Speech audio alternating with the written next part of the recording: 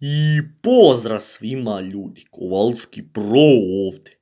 Danas ćemo da, da pričamo istorijsku temu. Radimo jednu priču o jednom najpoznatijem prota, protagonisti novog veka i u pitanju jeste, ako vidite, po, ako možete znati po priči njegovanja, to je Hernand Cortez. Znači pričamo o Hernand Cortezu. Ajmo da počnemo, da vidimo ko je bio Hernand Cortez i kada je, i kakav je njegov život bio. Idemo. Rođen je 1485. godine Medellin u Španiji, znači rođen je u Španiji 1485. godine, a umro je 2. decembra 1500, 1547. godine, isto u Španiji. Dobro, idemo da vidimo malo zanimljivosti njemu. Ovdje vid, Hernand Cortés je bio jedan pustolovac, dobro poznat pustolovac. Ako vidite ovdje po njegu, kako, izgleda, kako on izgleda. Ovdje vidimo sliku Montezuma, vladar Azteka, dočekuje Hernanda Corteza, Cortesa izvan titlana. Cortez ga je tada zarobio. Ovdje vidimo, evo ga vidiš kako izgleda Hernand Cortez, vidite kako dobro izgleda. Osvetlimo. Još više koji evo ga vidiš kako izgleda Hernand Cortez, vidite kako ima ovaj oklop od gvožđa, vidite kako je obučen u, gvož, u da ima neki kao, neki šal, šta je, vidite, još ima više kako jaše konja, jaše konja, vidite, naš tog brown konje, vidite, evo mu je sablja, vidiš kako ima, drži ovu sablju, vidiš kako drži ovdje sablju, a evo su njegove, su španci, vidite kako izgledaju ti njegovi čuvari, gardovi, španci, kako imaju neki, kako imaju, kako imaju još ove morione. To su oni, oni onaj šlem iz uh, Shadow Fighta 2. Ne, to je onaj šlem iz Shadow Fighta 3, što sam, common, što se dobije u chapteru, čet, u chapteru 5, vidite. Common, vidite kako više kako taj morion, vidite.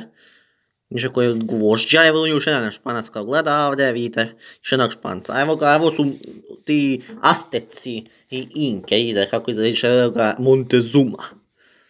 Više kao nešto belo, pogledaj kako on kao kralj. Vidite, više ima ovaj, nego više ako su ga ovi držali kao zavetni kovčeg. U starom zavetu kad su nosili jevreji, vidite kako više ako, više ako su ovi, kako su ovi crnci, više ako su goli, vidite. Gledajte, vidite, više vidiš kako je to, vidite. Više ako ga nose.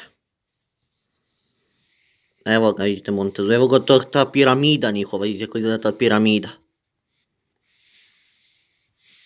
Vidite. Ajmo malo da pročitamo nešto, um, nešto zanimljivo ovdje, što je, za, što je mnogo za, što je ekstra. Idemo.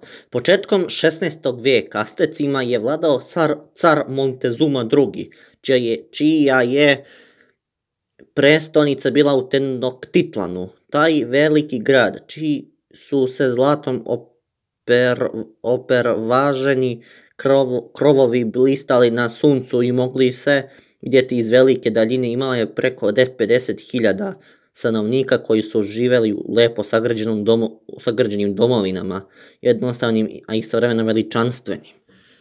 Tenochtitlan je bio veoma bogat grad sa dobro razvijenim trgovačkim vezama i svoje, iza svoje predstavnice Montezuma je upravljao celim Meksikom. Godine 1519. Montezumi su iznenada javili da, su, da se u mestu Tabasco iskrcala čutna grupa ljudi koja govori nekim stranim jezikom. Znači to su španci.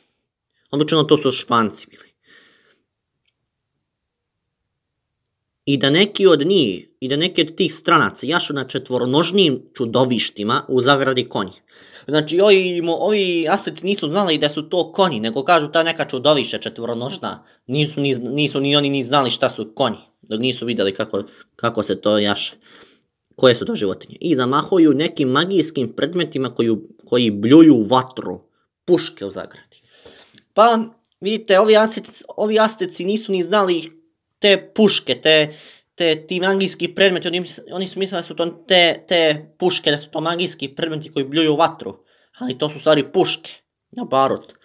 Izgledalo je da su ovi ljudi u potraži za zlatom i srebrom. Vođa im je bio Hernand Cortez, sredovečan pustolov iz Španiji koji je proveo nekoliko godina na Kubi i tu od trgovaca čuo o bogatstvu Azteka. Kada je Cortez proveo nekoliko dana na meksičkom kopnu, otkrio je da je veliki deo lokalnog življa protiv vlasti Azteka. Bio je dovoljno brz da ovo iskoristi i sa svojom vojskom ovih domovin, domorodaca krenuo je pravo na Tenochtitlan. Montezuma u uverenju da je Cortez bog Quetzalcoatl, koji se vraća sa dugačkog boravka u tuđim zemljama, primerio, premio, pripremio se da dočeka Španca dobrodošlicom uz veličanstvenu pompu i ceremonija doneti u nosici koja je sva bila ukrašena zlatom i srebrom i oko, koje je, su išli okićeni sveštenici i činovnici van grada da dočeka Cortesa. Španci, ne, španci nikad dotle nisu tako nešto videli. Cortez je prihvatio ovaj doček, a onda je iznenada napao svog domaćina i zarobio, kad tim je naredio da se uništi astečki presto, a hramovi, a hramovi palate iz grada da se opljačkaju, naredio je da se najmanja trunka zlata i srebra pretopi i za, i za tri dana i za tri dana saku sakupljeno je ovih plemenitih metala u basno, ba, basnoslovnoj vrednosti. Znači vidite vi to, znači ovdje je, kako se kaže, Hernan Cortez zarobio Montezumu, ovog kralja Azteka, i vidite da je sve opljačka, znači opljačko je tu, tu Južnu Ameriku, to je Tenochtitlan. A vidiš da je taj e, Montezuma, taj jastečki kralj, mislio da je Hernan Cortez u stvari Quetzalcoatl, to je taj njihov bog. Oni misle taj Quetzalcoatl. Čekaj. Pa da. Znači Montezuma je mislio da je Hernan Cortez Quetzalcoatl. Što znači, što znači da je naseo misleći da, da je to taj bog, ali nije. To je španac. Zašto bi onda taj bog nosi ove ostale špan, vi španske ratnike sa morionima? I zašto bi izvadio sablju? Više kao sablju nosi od gvožđa, ako je uska, kako može da seče. Znači vidite da je posle, kasnije i on umro, 1519. godine. Mislim, nije umro, nego je došao 1519. godine. Da saznamo, znači čuli ste na početku ide kad je on umro. On je kasnije umro, nije umro, greška moja nije umro 1519. 1519. nego, nego je umro 1547. godine. Valjda znate. I to je ta priča Hernand Cortezu. Vidite da je on ušao u, u Tenochtitlan i opljačkao ga i ubio Montezumu. Taj dobar Hernand Cortez. Ljudi, ljudi vidimo u sljedećoj epizodi i pozdrav.